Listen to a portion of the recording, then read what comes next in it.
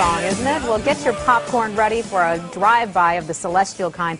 A big asteroid is set to whisk by the Earth in early November, exciting astronomers who rarely get this close a look at a deep space object. Michio Kaku, he's a professor of physics at City University of New York and the author of Physics of the Future, How Science Will Shape Human Destiny and Our Daily Lives by the Year 2100. Hard to imagine that far off, but uh, good morning, sir. This is like the Super Bowl for scientists. Why are you all so excited about this?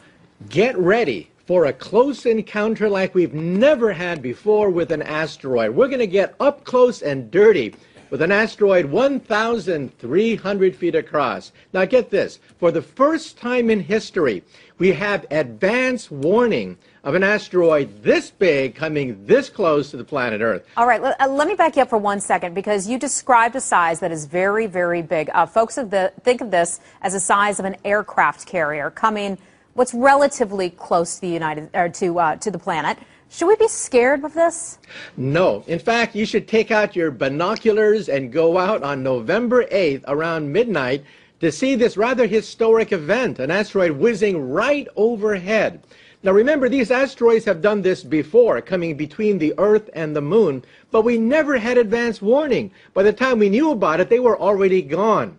This time, we're getting cameras ready, telescopes, radar. We're going to photograph every single inch of that asteroid. It's one of the closest encounters we've ever had, including our space program. All right, other than uh, being cool to see, what do we actually learn from it?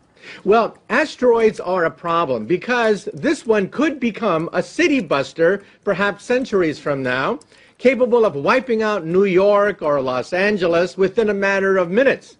So that's why we have to track these things. We have to understand what they're made of, and one day, perhaps understand how to blow one apart or push one out of the way. All right, well, we do not want to be hit by one. One apparently hit Siberia back in 1908. Of course, none of us remember that one.